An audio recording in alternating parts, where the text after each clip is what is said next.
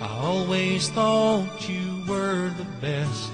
I guess I always will. I always felt that we were blessed, and I feel that way still. Sometimes we took the hard road, but we always saw it through. If I had only one friend left, I'd want it to be you.